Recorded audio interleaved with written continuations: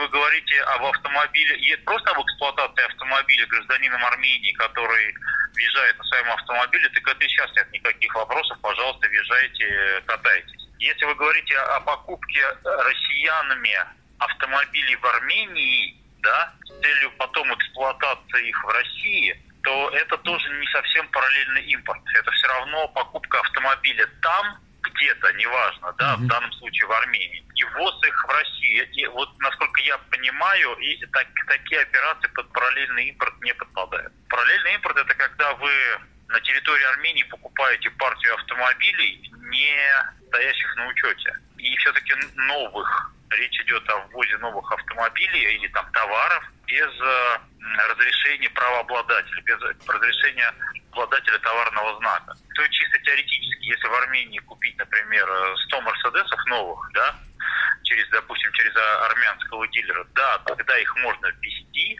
официально их дадут растаможить. Раньше шел запрос, условно, в, на, в нашем примере, в Мерседес, да, и э, спрашивали, а может ли гражданин э, Саркисян да, ввозить э, Мерседеса. И Мерседес говорил, Даймлер, нет, у него такого права нет. И, соответственно, в растамаживании таких автомобилей отказывали.